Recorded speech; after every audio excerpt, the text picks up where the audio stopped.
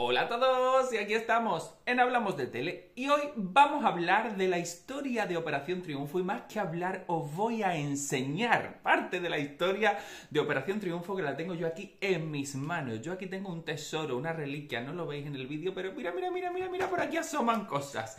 He llenado la mesa de cosas que yo tengo de merchandising de la historia de Operación Triunfo. La verdad es que lo he visto así como todo puesto y he pensado, madre mía, aquí hay dinero qué pena. Me ha dado como mucha pena. Porque, eh, bueno, yo es verdad que casi todo es como de la época de Operación Triunfo de las primeras ediciones. Y, y claro, a mí, porque como sabían que me encantaba, que era fan absoluto, normalmente pues me regalaban siempre cosas de OT. Entonces ahora me ha dado como mucha ternura de decir, madre mía, no, yo cuando era tan pequeño no tomaba conciencia, ¿no? De, de que esto vale dinero. Pero lo guardo todo como una reliquia y me encanta. Y me he dado cuenta que aquí no está todo. O sea, yo alguna vez en Instagram os he enseñado, seguirme en Instagram los que no me sigáis.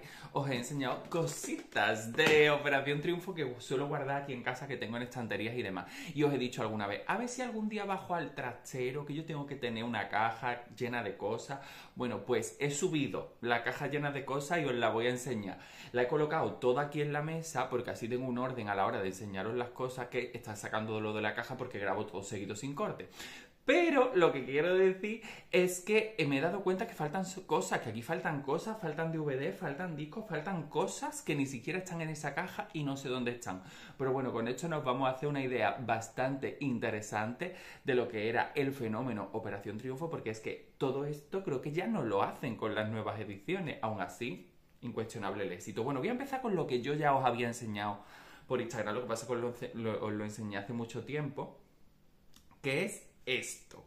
Bueno, yo ahora mismo no tengo reproductor de este tipo de cosas.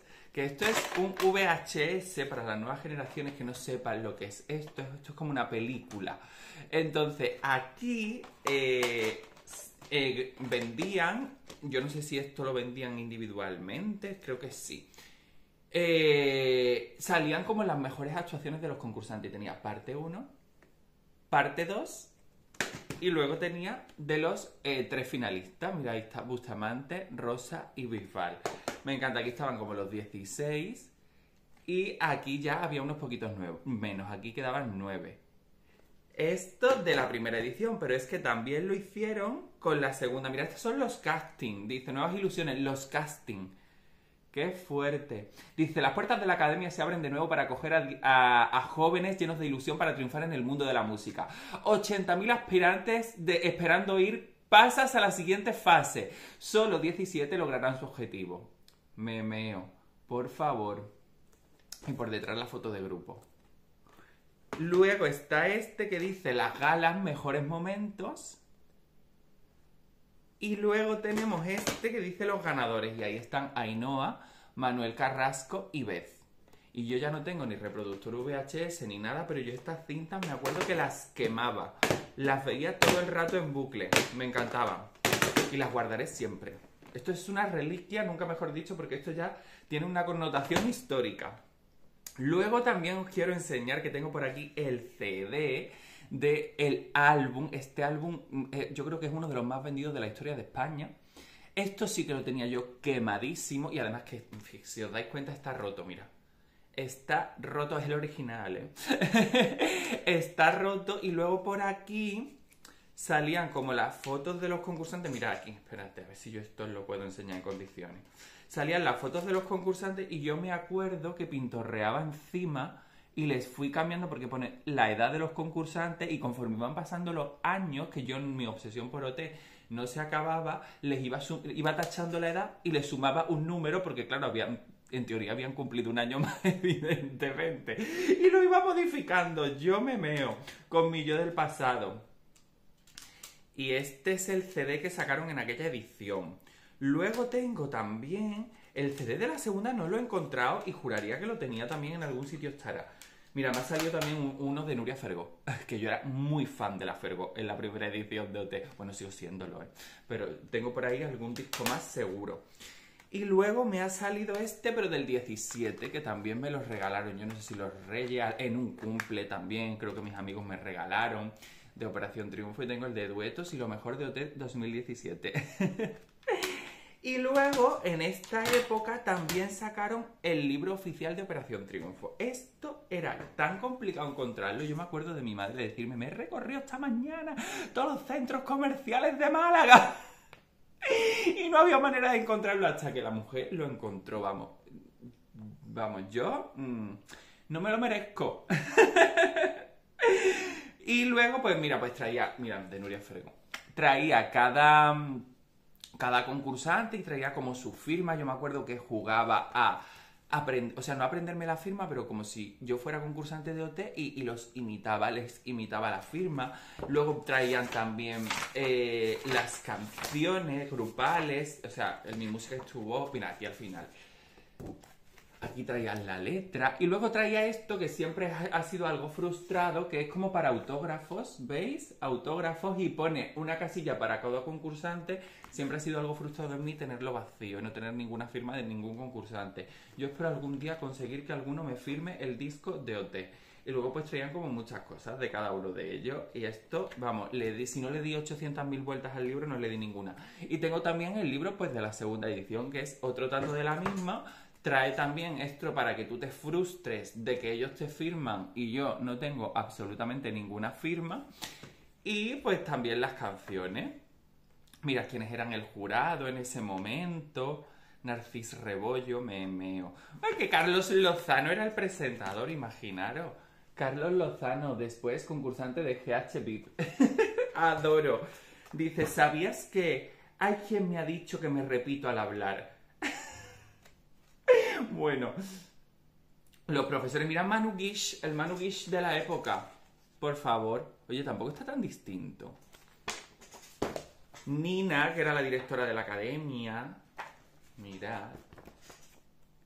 Y luego, pues, eh, los concursantes igual traía pues su fecha de nacimiento, de dónde son el horóscopo, eh, altura o color de ojos, color del cabello, color de todo quién le gusta, quién no le gusta. O sea, típico de la super pop. Pues, pues un poco era eso. Me meo.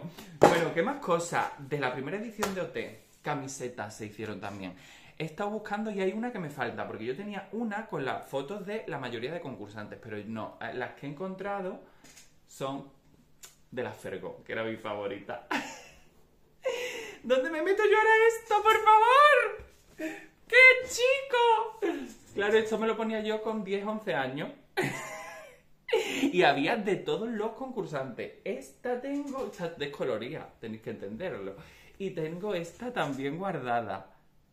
De la Fergo, que yo era súper fan de Nuria Fergo. Me encanta, me encanta. ¡Qué recuerdos! ¡Qué nostalgia, por favor! Luego, otra cosa que tenía súper rayada el disco de la Play del Cine Star de Operación Triunfo. Traía canciones como Alejandro y Beth en el medio del camino. Beth, dime, temazo. Eh, che, no hay Geno, otro amor vendrá. Che, no hay Gisela y Verónica, Lady Marmalade. David Bisbal, corazón latino. David Bisbal y Elena Gadel, miénteme, miénteme, condéname, encadéname, sedúceme, hazme tuya hasta que muera de dolor. Edurne, Buku y Manuel Carrasco entra en mi vida. Bueno, bueno, bueno. De, había hasta OT5, creo. Y cerraba con mi música estuvo. Y no me tenía nada de Nuria Fergó. Así, ah, Manu Tenor y Nuria Fergó, Noches de Bohemia. Yo esto lo tenía quemadísimo también. Tenía, fíjate, esto no es de OT, pero aquí lo he visto, el de Euro Junior. El DVD también con las canciones. Esto fue otra fantasía, otro delirio colectivo. Acordaros de ese sinvergüenza, me llaman a mí. Es que habrá gente que ni se acuerde porque no existía en ese momento. Luego, un juego del ordenador de Operación Triunfo que esto no era ni. Esto era una estafa, yo qué quieres que te diga. Porque yo cuando lo compré pensaba que sería pues jugar en una academia Operación Triunfo tipo Los Sin. No, no, no. Esto era en plan, de repente, un come cocos o algo así y te ponían la foto de un concursante de OT de fondo. Y era como, ¿por qué? Eran como minijuegos, solo que le ponían el nombre de Operación Triunfo. La marca Operación Triunfo estaba en todas partes. Otro karaoke de Operación Triunfo. Maravilla. Ah, mira, esto lo sacaron en OT4 cuando terminaron. Yo no sé si lo sacaron con un. No, con un periódico o con la revista oficial del programa. Eh, un DVD para cada finalista de OT4. Sergio, que ganó. y traía pues cosas de la academia, una entrevista, la grabación del disco, canciones suyas en las galas y fotos. Sergio Rivero, Soraya Arnelas y Víctor. Así que todo esto yo creo que ya os lo había enseñado, que lo tengo aquí como son más así, pues eso, discos, libros, no sé, que lo tengo aquí en una estantería. Y ahora, hay más cosas que esto ya es como muchísimo más friki que también guardo y estaban en la caja. Eh, por ejemplo, álbumes de Operación Triunfo. O sea, esto en el momento era una colección, una reliquia, tengo dos. Y tengo la colección entera. Tengo la colección entera, la conseguí llevándome las fotos repetidas al cole, cambiando con compañeros. Esto era el fenómeno del momento. Todo el mundo hacía esta colección de Operación Triunfo. Y mirad. A ver, mirad. Tengo la colección entera y no sale. no, ¿sabéis qué pasa? Las primeras fotos era, mira, se ven aquí arriba. Las primeras fotos son una foto individual de cada concursante y yo las quité porque yo jugaba con esa foto y, y yo me acuerdo que a lo mejor eh, eh, cogía un sobrecito de estos donde venían las estampas y, cogía las fotos de los concursantes. Entonces jugaba a Operación Triunfo. Eh, las ponía boca abajo, metía un sobre a una foto al azar en el sobre y de repente yo decía que ese era el favorito de la semana. jugaba, yo qué sé, usaba la foto como si fueran muñecos y jugaba a Operación Triunfo. Entonces esas fotos tienen que estar guardadas en algún sobre o en algún sitio, pero no están aquí en el álbum. Pero a partir de ahí sí que las tengo todas, mira. A ver si las puedo pasar. Mira, Chenoa, Bustamante, Nuria, Geno. Es que con el aro de luz. Eh, Gisela, Javián, todos, todos, todos, todos, todos, todos, Natalia, Nain. Y luego, claro, no sé por qué los puse solo como a una cara. En vez de a doble cara en el álbum, no cogí otro álbum, o supongo que me los regalarían y entonces las distribuí. Y aquí me llegan como hasta las 56 y luego aquí pues ya empieza la siguiente. ¿Ves? Las 57. Fotos de chicas. Eh, y, lo tengo entero, entero, entero. ¿Ves? Hasta la última, que es la 108. Y aquí están todos cantando mi música es tu voz. Luego Mira, el logo de OT, las conseguí todas. Yo me acuerdo que esto fue todo un orgullo el conseguir, porque todos los recreos yo me dedicaba pues a cambiar fotos con la gente y esto era un negocio porque claro, había fotos que se repetían mucho y fotos que salían muy poco. Mira, los todos de Papá Noel por Navidad, me puedo mear.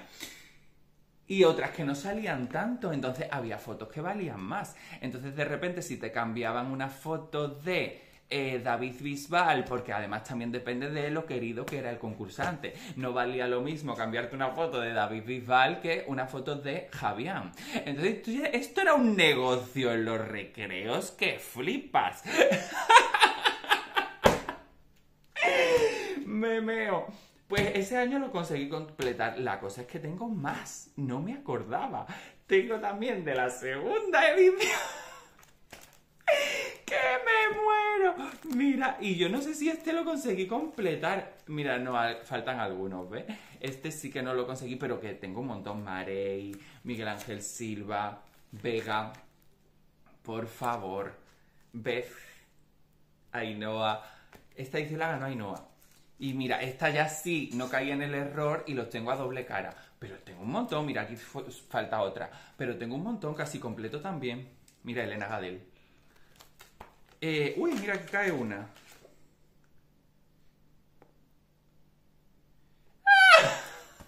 Es que le escribía cosas por...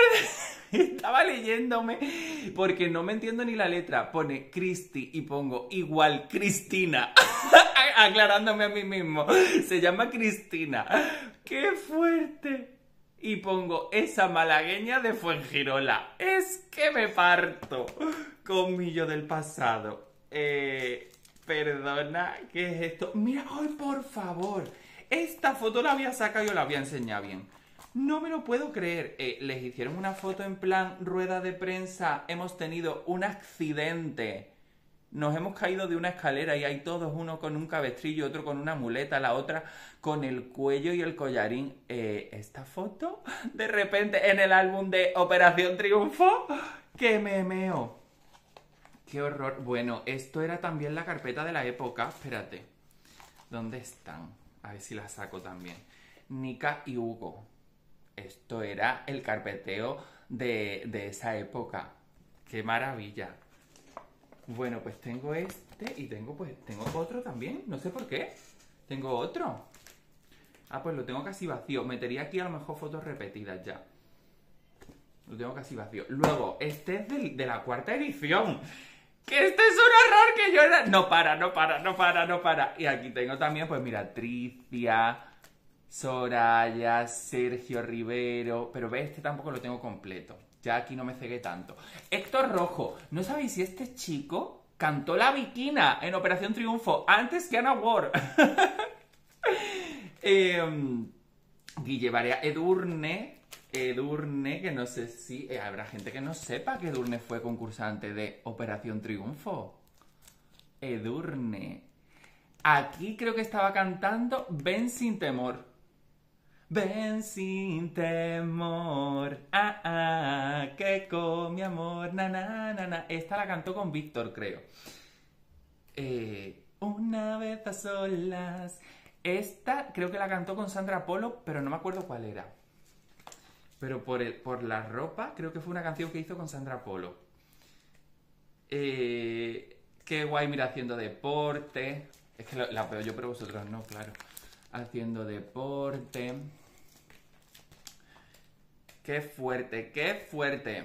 Me encanta. Y luego, esta es del 2000. ¡Oh, mira! Aquí dentro tengo un montón de sobre. Ya os digo, veis, yo usaba los sobres. Es que claro, yo me guardaba los sobres para eso, para jugar luego a Operación Triunfo. Tiene que haber seguramente dentro de algún sobre, tiene que haber cartas.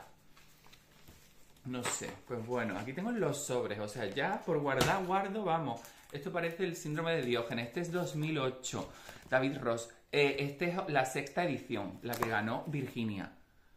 La edición más polémica de Operación Triunfo. Pero también tuvo muchísima repercusión esta edición. Y también tengo pues casi todas, la verdad. Mira, Tania S. A ver si sale algo de Esther Aranda, que este es también como icónico. Mira, Esther Aranda cantando con Rubén. Obviamente la nominaron como en todas las actuaciones a la pobre mía. Bueno, esto fue el I love to love, Babna baby, just love to dance. Es que es que reconozco perfectamente las actuaciones. Anabel Dueñas, Anabel Chipper.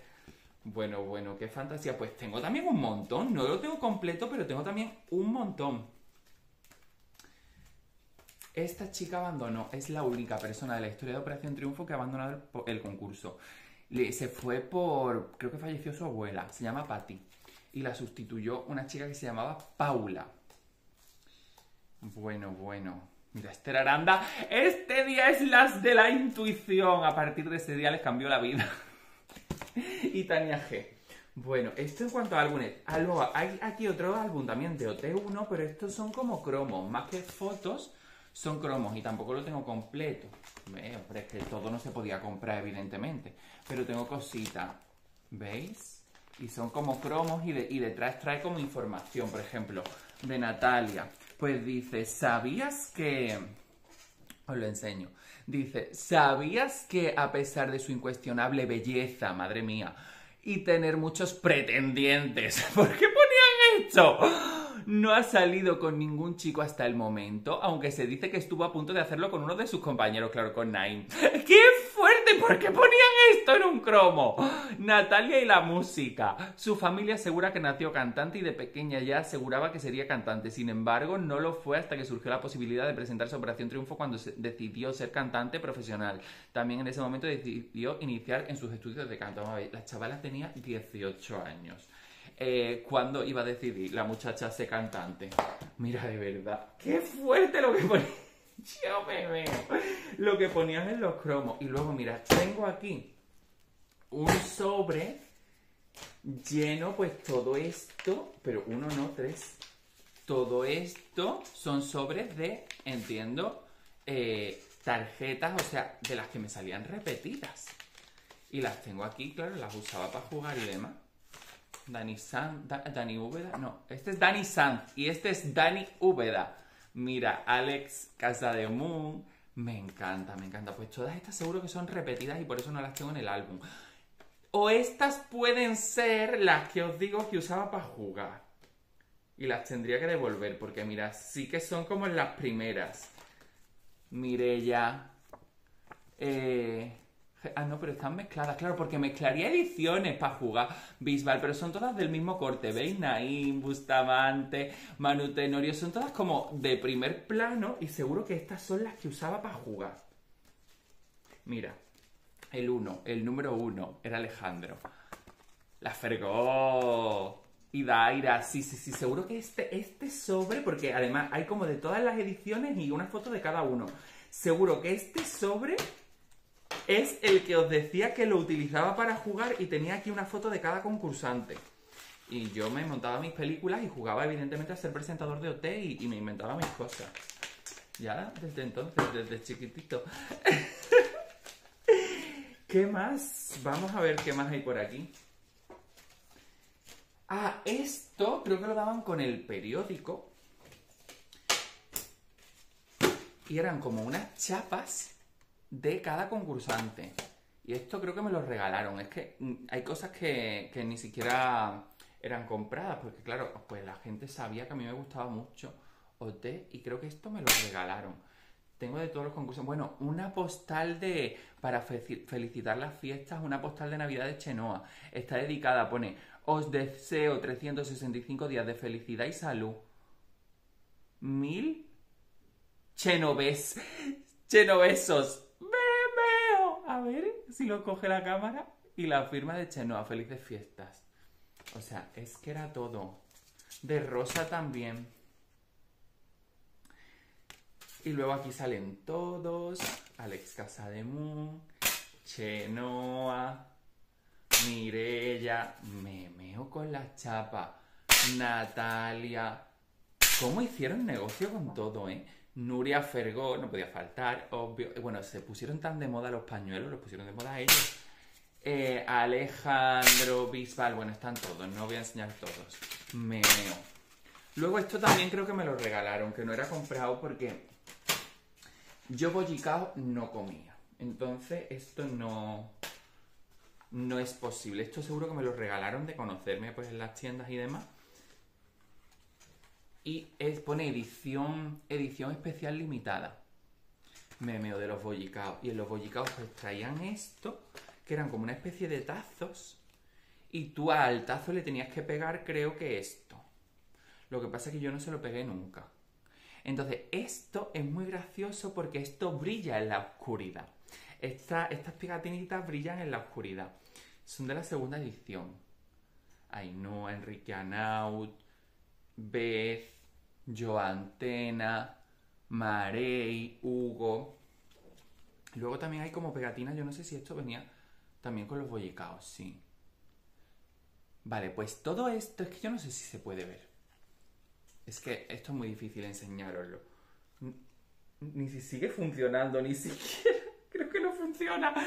Vale, esto, esta silueta que veis lo azulito, esto brillaba en la oscuridad, es que hace muchos años, esto es de 2003, brillaba en la oscuridad y yo me acuerdo que jugaba con mi hermano de meternos en el baño, eh, esconder las la, de estas por muchos sitios, por los cajones, por aquí, por allí, en la bañera, para acá, para allá, y teníamos un tiempo como para encontrarlo, porque brillaba en la oscuridad y claro, el baño no tenía eh, ventana. y a eso jugábamos con las cartas estas que brillaban en la oscuridad, era una fantasía. ¿Qué más os enseño? Es que aquí hay mucha cosa, ¿eh? Mirad, guardo revistas, están machacadas, revistas de OT. Uy, madre mía, esto está pegado aquí, yo qué sé. Uy, por Dios, lo voy a romper. Bueno, revistas de OT. Luego póster que traían, por ejemplo, vamos a abrir este. A ver, este póster de esta semana era de Jesús Vázquez, está manchado, no sé de qué. Algo le habrá caído. Y por detrás venía Manu Castellano. Luego, por ejemplo, este. Este seguro que lo tenía en mi cuarto 100%. en algún lado puesto. Que salían todos. Y detrás está Lorena Gómez. ¡Me veo! Que era la ganadora de la edición anterior, la ganadora de la edición anterior. Hay muchas cosas, es que como me detenga, eh, se hace el, el vídeo eterno. Pero un montón de revistas. Mira, este es de otro año, claro, este es de otro año. Dice, ya hay finalistas. Este es del OT4. Ya hay finalistas la revista oficial de OT. Yo me meo. Y pues venía, pues, yo qué sé. Mira, el invitado de la semana. eh, aquí un poquito de cada concursante, de los que ya eran finalistas. Gala 11. Gala 11 era esta. Mira, feliz cumpleaños, feliz 40 cumpleaños a Jesús Vázquez. Cumplió 40 en esta edición de OT. Madre mía, qué fuerte. Mira, esto para recortarlo con la firma de cada concursante. Edurne, Sergio Rivero, Sandra Polo y Víctor. O sea, imagínate lo que tiene que ser salir de una academia y tú en realidad encontrarte esto. Dice por detrás lo que se dice de su firma. Madre mía, les analizaron el grafismo. De Durne, por ejemplo, dice, es sencilla, honesta, un tanto orgullosa y con mucha imaginación. Tal y como apunta la inclinación de su firma, Edurne es una persona ambiciosa, pero que sería eh, incapaz de pasar por encima de sus compañeros para alcanzar sus objetivos. Madre mía. Bueno, pues aquí tengo revistas, pues eso, de, toda la edición, esto es de 2008, más revistas.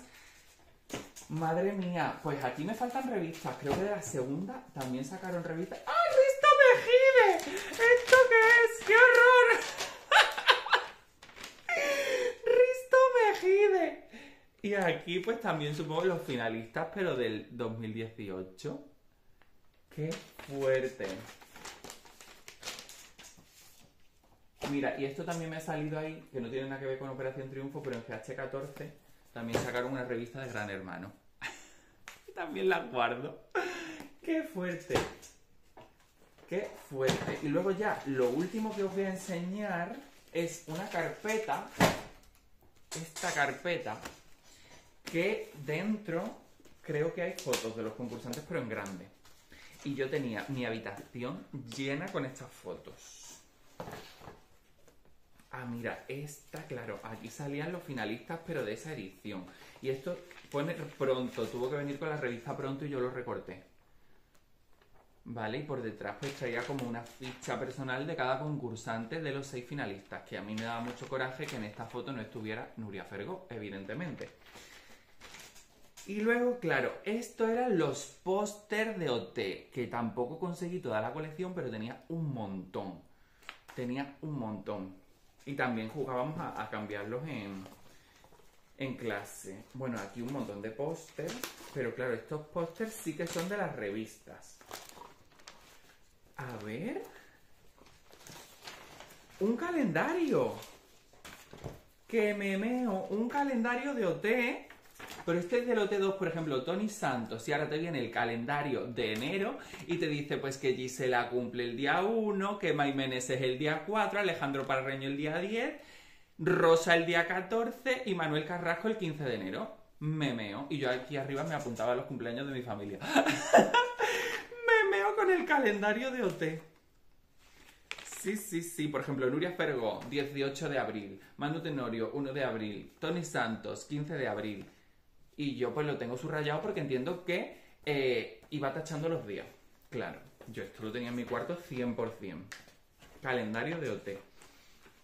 Qué fuerte. Luego también salían pósters súper grandes con las revistas.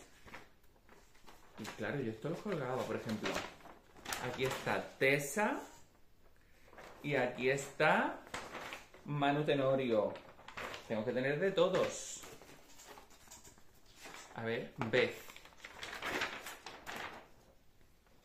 Beth y por detrás Hugo, eh, Tena y Miguel Nández.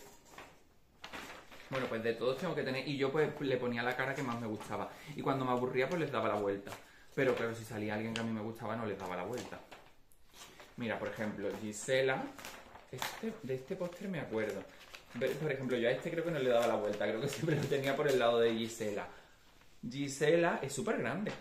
y Alejandro Parreño estaba por detrás. Qué fuerte. Todo esto venían con las revistas.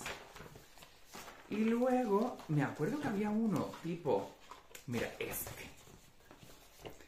Este es tamaño real de Chenoa. Imaginaros, esto es solo la cara. Era tamaño real, lo voy a abrir.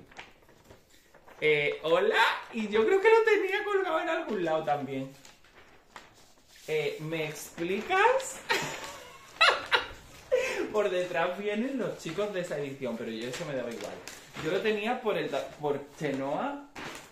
Soy humana como Chenoa. ¿Quién le iba a decir a esta persona que terminaría siendo la presentadora de Operación Triunfo? Pues creo que había otro tamaño real también de Bisbal. Ahora, ¿cómo se dobla esto? Madre mía. Bueno, ahora después lo, lo doblo, que si no. A ver. Y luego, a ver si llego a lo de la colección esta que os quiero decir. Mira, este es el de Bisbal. Bueno, llevo tanto hablando que se ha parado la grabación. Me ponía falta de memoria. Bueno, termino rápido. ¡Hala! Esto me lo trajo mi tía. Y luego creo que en el cole también alguna profesora trajo de haber ido al concierto de OT. Yo era muy pequeño y no fui. Y daban esto desde multiópticas para apoyar a tu favorito. Y me trajo eh, Gisela, que era todos con Gisela, Chenoa, que era Chenoa, eres la mejor. Y obviamente, obviamente, Nuria Fregó. Por detrás ponen Nuria, Nuria, Nuria. Nuria. Pero a ella sí que le, le canturreaban en los conciertos. Nuria, Fergó, eres la mejor. Esto lo tendría que poner el multiópticas. Adoro. Y aquí está lo que os digo de la colección de fotos.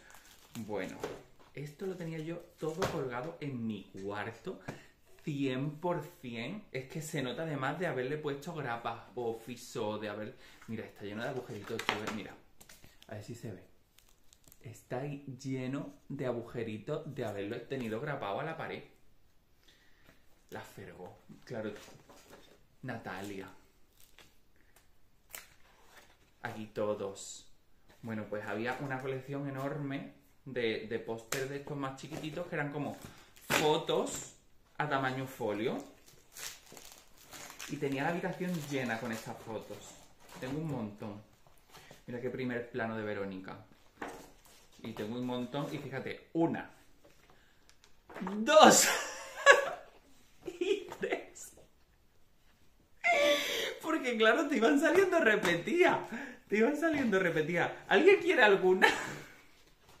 Mira, este luego tengo esta y esta.